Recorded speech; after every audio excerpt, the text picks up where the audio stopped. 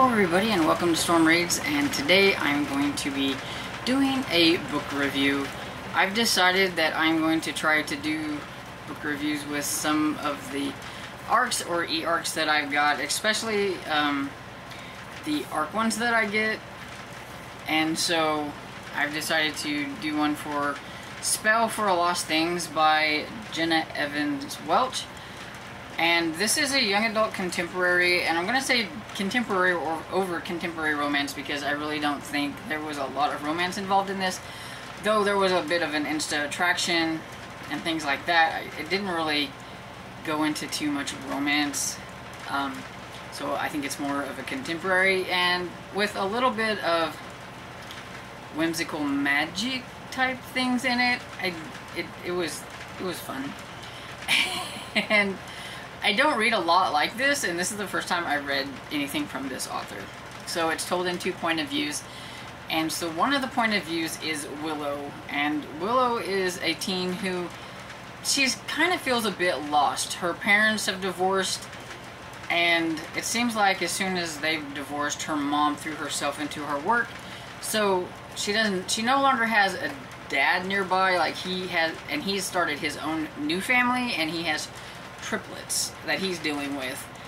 Her mother has also went headlong into her event uh, planning type.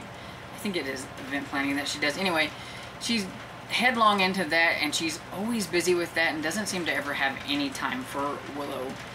And so Willow is just kind of feeling a little bit misplaced and lost a little bit and just doesn't understand a lot of the stuff that's happening one thing she knows is she can't wait to graduate so that she can travel. She is, as soon as it's time for her to get out of there, she is gone. She is going to just travel the world and do her thing. That is what she wants to do. She's not quite sure how she's going to achieve that, but it is what she wants to do. She has like a whole plan. She has really been mapping this kind of a thing out. That is kind of her thing. Then one day, um, her mom gets a letter and it pretty much upends everything because she finds out that her mother had a twin sister that she never even knew about. So Willow never even knew that this woman existed because her mother put the past in the past and it was gone. She even changed her name to something different. Not too different because she was Rosemary, but now she's Mary. And her sister's name was Sage, and her name is Willow. Do we see something going on here? and um, they used to live in Salem. And she had no clue that her mother ever lived in Salem. But now they've got to go back because of the death of her sister. She has acquired their house, the, the big house that their aunts had. Her Aunt Daisy, I think, had this house. And they were raised there and they lived there with their Aunt Daisy and they have three she has three very eccentric great aunts named let's see poppy violet marigold i believe. And they were so fun. They were probably some of my favorite parts of this story. And so she just doesn't i mean willow has no clue what to think about all this because all of a sudden she has found out that her mother has this whole other life that she knew nothing about. And so she is really interested in trying to figure this out, especially because her great aunts are, um, are witches, or so they say. You know, like I said, it's Salem, so you never know. Very eccentric. Um, they do spell casting and things like that, and so there's a little bit of that in there and uh, she's kind of really curious about this. She especially feels drawn to the house. Her mother wants her to have nothing to do with it. She doesn't even want her to go in the house. She doesn't want anything to do with it. She's just going to find a realtor and sell the house and be done with it. She doesn't want to talk about her past. She doesn't want to talk to Willow about it. So, of course, naturally, being a teenager, she is going to try to figure things out on her own, especially when one of the great aunts hands her a key. so, of course, you know, and so then the other point of view is Mason. And Mason is a young man who is in the foster care system and he has to do with the fact that his mother is an addict and is always an addict, and they're just, um, even though he knows that there's probably no hope for her, he always has hope for her because it's his mother. But it seems like the foster care system has lost his mother because they can't figure out where she's gone. Like she has just gone off the face of the earth. She was supposed to have went into rehab, and then they they have no clue like what happened to her. So Mason is trying to find his mother, but uh, he has to kind of go wherever the foster uh, the social workers and stuff like that put him. So he ends up being fostered in Salem. So he has to go to Salem because there is a lady there named Emma who used to know his mother he's not quite sure how he feels about that because it's just weird staying with somebody that knew his mother, but that he feels if you knew my mother, why didn't you help my mother kind of a thing. And I will admit his his story was a little bit of a downer. and I kind of found his parts at the beginning of this to be quite boring.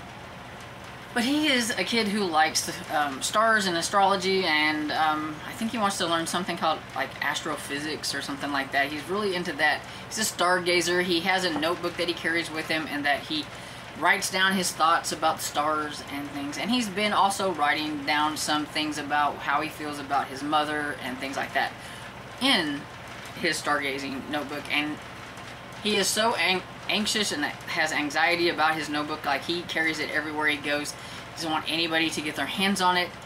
He doesn't want it to get lost, all that kind of stuff. So he always has it with him. And so he's headed to Salem. Willow's headed to Salem. Do we see something happening here? So they meet up uh, on accident at uh, Willow's uh, great aunts or whatever. The house or Sage's house, I guess it was kind of Sage's house that they're selling. She wants to check it out. So she goes there at night. He knew about the house because his uh, foster father is a realtor. And so he sees that the rooftop looks like a really great place to like stargaze. So of course that's kind of where they bump into each other. And then from then they kind of they kind of form a friendship, but there's like really that instant attraction of like, oh my goodness, he's so cute. Oh my goodness, she's so pretty type of thing. But there wasn't really like a full out like romance romance or anything like that. So that's why I call it like a contemporary. But it gets a lot more interesting, at least Mason does, when they she meets Willow. I just found the stuff about the witches and Willow's side a lot more interesting than I did Mason's. Now, Mason's story does have a pull at your heartstring moments towards the end, which kind of impacts him, his side of the story. It's a little bit more, and makes him a little bit more interesting, but honestly, I just really preferred Willow over Mason.